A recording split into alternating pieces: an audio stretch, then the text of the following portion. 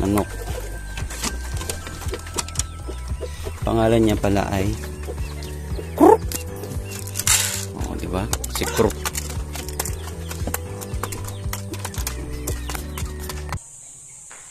Tapos na tayo magpakain ng manok.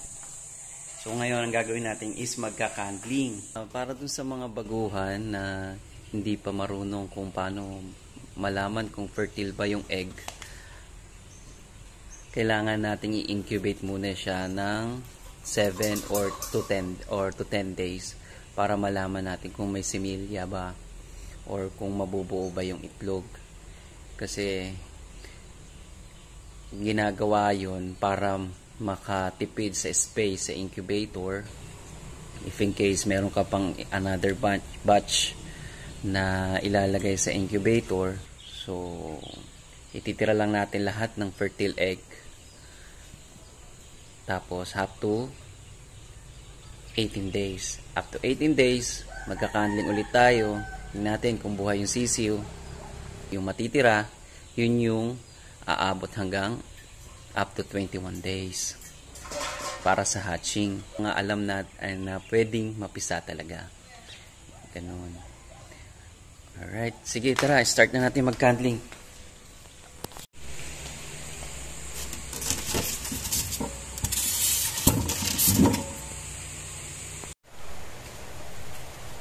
Ito.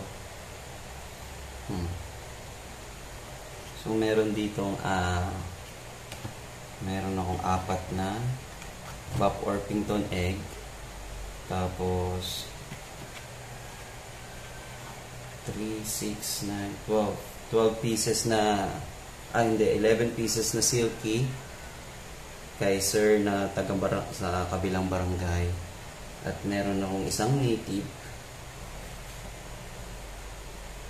Ah, dalawang native 10 days na to dito sa, sa incubator ko. So, malalaman natin kung meron siya, kung fertile siya. Check natin. Patayin ko lang ilaw.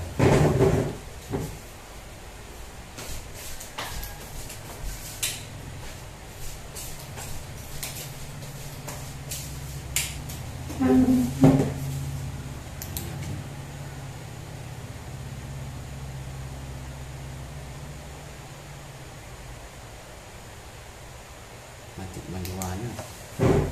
Gagamit tayo ng flashlight. Kailangan pag nagka-candling madilim. Malano, para malaman natin yung kung fertile yung egg. So, check. Masyadong maliwanag.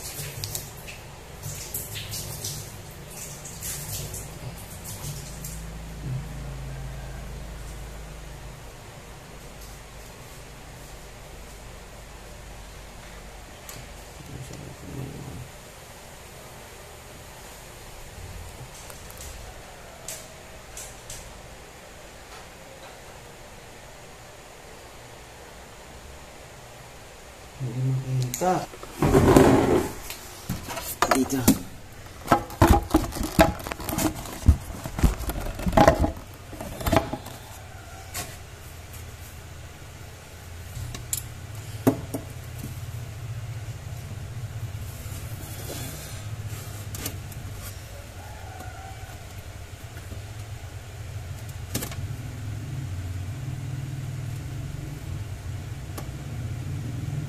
Yan, malalaman mo kung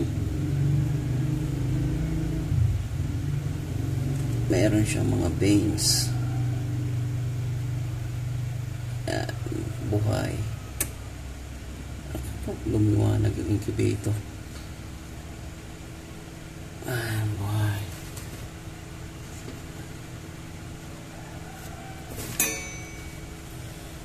Ito, ikita mo masyadong maliwanag. For 10 days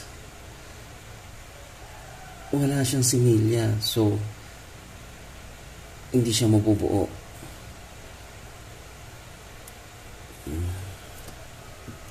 Meron ng isa hindi mabubuo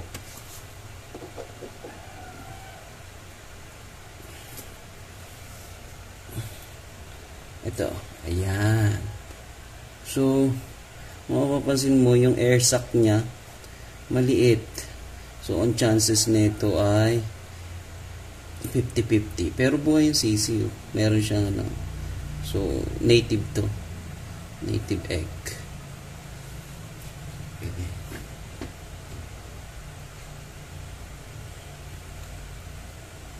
Ito.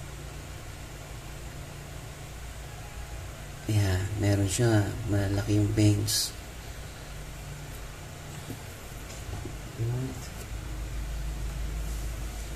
Oh, ito. Wala. Hindi siya mabubuo. Wala siyang similya. So, napakalinaw niya. Buck Orpington egg. Buck Orpington egg na walang similya. Bad egg.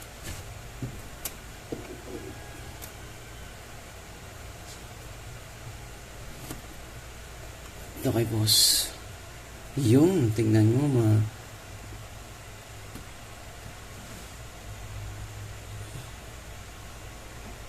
Mm. Buhay na buhay. Silk ito. Sa hindi nakakaalam kung ano ang silky, uh, ilalagay ko dito sa video kung ano itsura ng silky. Napaka-cute na manok. Itim ang balat, itim din ang laman. Puti ang balahibo. Ah.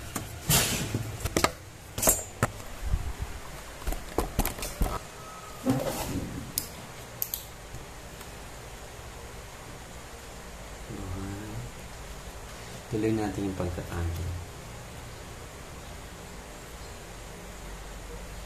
Ito.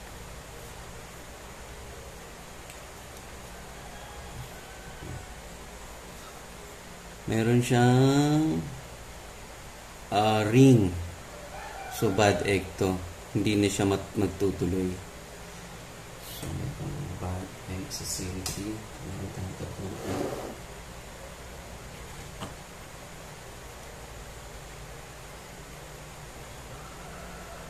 Same as ito rin. Ito din. Meron siyang linya lang.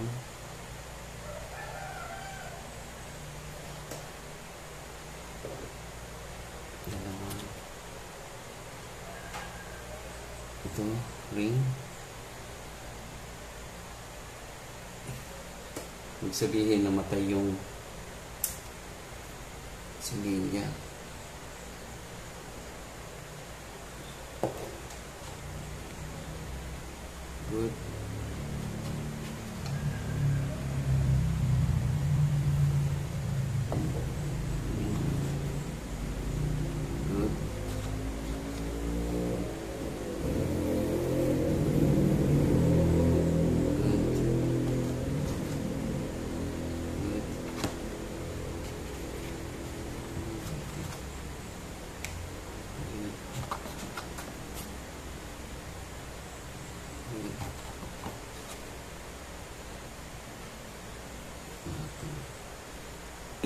Ah, 1, 2, 3, 4, 5, 6, 7. 7 na silky, dalawang native, and dalawang buff Orpington.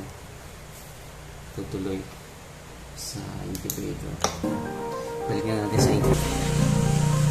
Yun, natapos po tayo sa pag kakandling ng itlog. So, meron tayong 6 na positive na silky egg at meron ding dalawa buff or pinto at saka dalawang native. So, out of 11 silky eggs, 6 lang yung positive. Kay kuya yon na taga kabilang barangay. Shoutout sa'yo. So, yon Kung yung tips nga pala kung paano malaman yung female or male ba ang itlog sa pagkakandling ng after 10 days mula incubator is malalaman mo kung 156 nerve siya is male.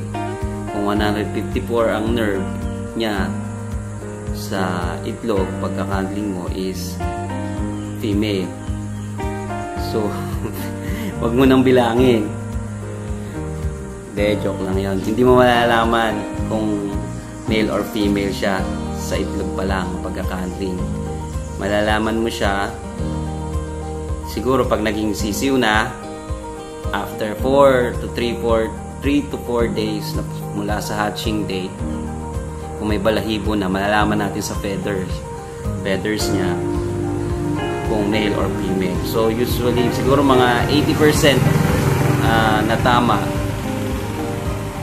yung chances na tama yung decision natin dun sa sisiw kung male or ba siya or female.